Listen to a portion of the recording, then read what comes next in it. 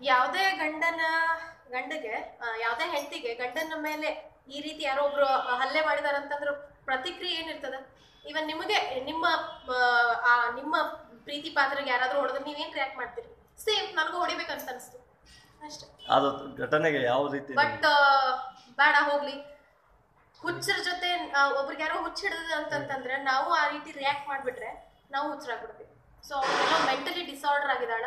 ಅವಳಿಗೆ ಸ್ವಲ್ಪ ಮಾನಸಿಕವಾಗಿ ಎಲ್ಲೋ ಅವಳಿಗೆ ಮಾನಸಿಕ ಅಸ್ವಸ್ಥಳಾಗಿದ್ದಾಳೆ ಅಂತ ಅನ್ಕೊಳ್ಬೋದು. ಅವ್ಳು ಸ್ವಲ್ಪ ಟ್ರೀಟ್ಮೆಂಟ್ ಅವಶ್ಯಕತೆ ಅದ ಅಷ್ಟೇ. ಬಿಗ್ ಬಾಸ್ ಮನೆಯಲ್ಲಿ ಇಂಥ ಅವಾಂತರ ನಡೀತದೆ ಅಂತ ಮೊದಲೇ ಅನ್ಸುತ್ತಾ ನಿಮ್ಗೆ? ಯಾಕಂದ್ರೆ ಬಹಳಷ್ಟು ಬಿಗ್ ಬಾಸ್ ಶೋಗಳನ್ನು ನೋಡಿದಿರಿ ಅಲ್ಲೂ ಮೊದಲು ಕೂಡ ಈ ತರ ಗಲಾಟೆ ಆಗಿತ್ತು.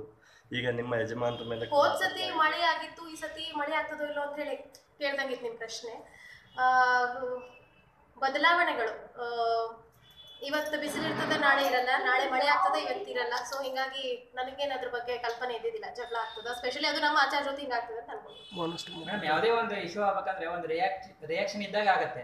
ನಿಮ್ಮ ಆಚಾರ ಕಡೆಯಿಂದ ಏನಾದ್ರೂ ತಪ್ಪಾಗಿರ್ಬೋದಲ್ಲ? ನೆವರ್ ನೆವರ್ ಎವರ್ ಆಗಿಲ್ಲ. ನೀವು ಅದನ್ನ ರಿವೈಂಡ್ ಮಾಡ್ಕೊಂಡು ನೋಡ್ಬೋದು. ಅವ್ರ ಮೇಲೆ ಅಷ್ಟು ವಿಶ್ವಾಸ ಇದೆ. ಅಫ್ಕೋರ್ಸ್ ವಿಶ್ವಾಸ ಅನ್ನೋದಕ್ಕಿಂತ ನೀವು ರಿಪೀಟ್ ರಿಪೀಟೆಡ್ಲಿ ಬೆಳಗ್ಗೆಯಿಂದ ನಾನು ನಿನ್ನೆ ರಾತ್ರಿಯಿಂದ ನೋಡ್ತಿದ್ದೀರಿ ನೀವು ಅದನ್ನ ರಿಪೀಟ್ ಹಾಕಿ ಅವಳು ಹೊಡೆದಿದ್ದು ಅವಳು ಬೀಳಿಸಿದ್ದು ಅದ್ ಮಾಡಿದ್ದು.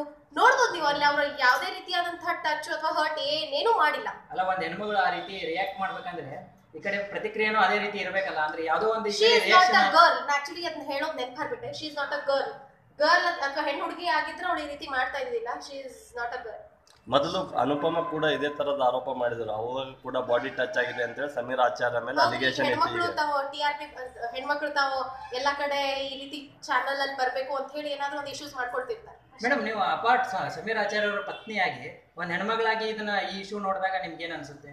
ಅಪಾರ್ಟ್ ಆಫ್ ಸಮೀರ್ ಆಚಾರ್ಯ ಪತ್ನಿ. ಆ, ನಾನು ಆಚಾರ ಹೆಂಡತಿ ಆಗಿದ್ದಿಲ್ಲ ಅಂತಂದ್ರೆ ಆಚಾರ ಹೆಂಡತಿ ಇದ್ದಿದ್ದಕ್ಕೆ ಸಂಯಮದಿಂದ ಇದ್ದೀನಿ ಆಗಿದ್ದಿಲ್ಲ ಅಂತಂದ್ರೆ ಎಲ್ಲ ಒಂದು ಹೆಣ್ಮಕ್ಳು ಗುಂಪು ಕರ್ಕೊಂಡು ಹೋಗಿ ಅವಳನ್ನ ತಕ್ ಶಾಸ್ತ್ರಿ ಮಾಡ್ತಿದ್ವಿ ಶಾಸ್ತ್ರ ಮಾಡ್ತಿದ್ವಿ.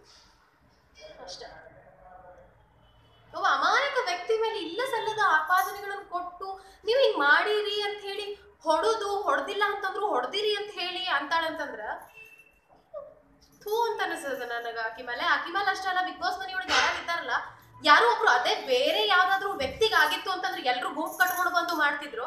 ಆಚಾರ್ಯರಿಗೆ ಮಾಡಿದ್ದಕ್ಕೆ ಸೈಲೆಂಟ್ ಆಗಿದ್ರು. ಸೊ ಎಲ್ರು ಅವ್ರೆ ಎಲ್ರು ಕಳ್ರು ಅಂತ ಅನಿಸ್ತು ನನಗೆ ಅಷ್ಟೇ ಕೊನೆಯದಾಗಿ ಏನು ಹೇಳಕ್ ಇಷ್ಟಪಡ್ತೀರಾ ಮೇಡಮ್ ಬಿಗ್ ಬಾಸ್ ಏನಿಲ್ಲ ಅವಳಿಗೆ ಒಂಚೂರು ಆ, ಮಾನಸಿಕವಾಗಿ ಅಸ್ವಸ್ಥಳಿದ್ದಾಳೆ ಅವಳಿಗೆ ಸ್ವಲ್ಪ ಹುಚ್ಚ ಆಸ್ಪತ್ರೆ ಕರ್ಕೊಂಡು ಕರ್ಕೊಂಡು ಹೋಗ್ಬೇಕಾಗಿದೆ ಆ ಟ್ರೀಟ್ಮೆಂಟ್ ಕೊಡಿಸ್ಬೇಕು ಅವಳಿಗೆ ಅಷ್ಟೇ.